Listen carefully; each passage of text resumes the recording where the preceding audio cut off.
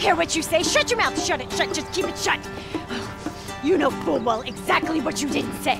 It's no good. Well, you can be surrounded by your young girls and your threesomes and your parties, and you will be miserable. You could have had it all with me.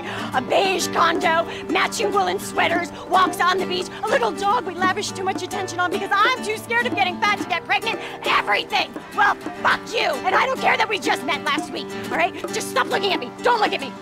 Say something. Oh, I wish you were dead. I really do. Mm. Ah! Oh, I love you! Oh, let me take you away from all of this! It, psycho! He was gonna impregnate my ex by a surrogate! Me? Me, the psycho? No, you are the craziest fucking chick I've ever met! I love you! You're thin! You're irrationally angry! Completely have no control of your emotions! We have nothing in common! Oh, baby, we're made for each other! Prove it! On the bike!